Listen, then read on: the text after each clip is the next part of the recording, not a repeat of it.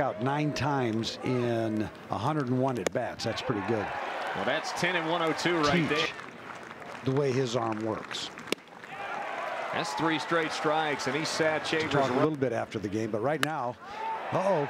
Oh, there's That Williams, well a hit. big fly. That ball's Oh. way out of here. Oh my goodness. You got to hit it out of a cannon to hit that awning at the Chapman Grandstands here at Doug Kingsmore Stadium. And Chris Williams, I think, could have hit it twice. Wow. Yeah, that ball got out in a hurry and hit the top of the roof of the grandstand there. That Here's going to play him to pull just a little bit to the right side. He shoots it to left center. That's a long run for somebody. And deep. Wharton at the fence. Did he catch it? He did. He did. Wow. Drew Wharton with a web gem if I've ever seen one. Good And pitch. Here's a swing and a miss as Strider sets him. We've had a base runner in scoring position today. That ball's hit. Back to left. Looking up. That one's out of here.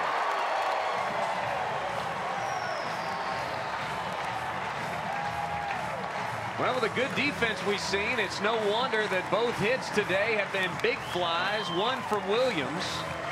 The other now from Jordan Greene and Clemson extends the lead. It's now 3-0 here in the bottom of the fifth. that, that home run became a two-run homer.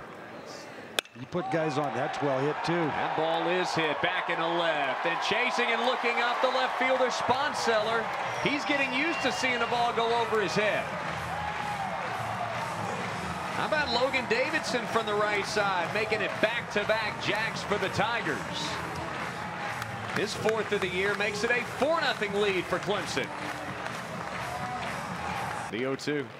Swing and a miss. Strider just blew him away. 92 mile an hour fastball. Velocity that he that he still feels really good. There's a base hit to right. Bierman going to hold at second. Beer, though, kicks it around. And now they got runners caught up.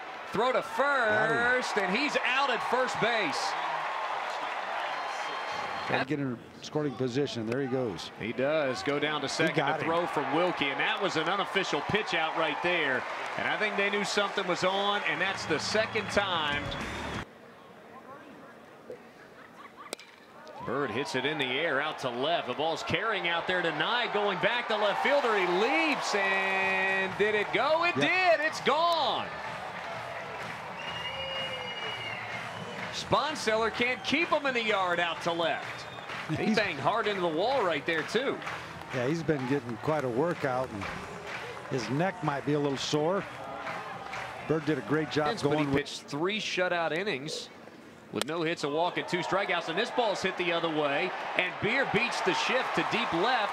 That'll score Greene. Seth trying for two, and he slides in safely with a double. And with no losses.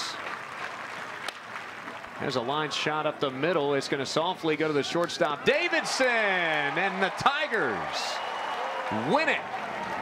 They strand the bases loaded in the ninth. And that's basically been the story. Tigers kept the Chanticleers at bay throughout. And on the back of four home runs, a 6-1 win.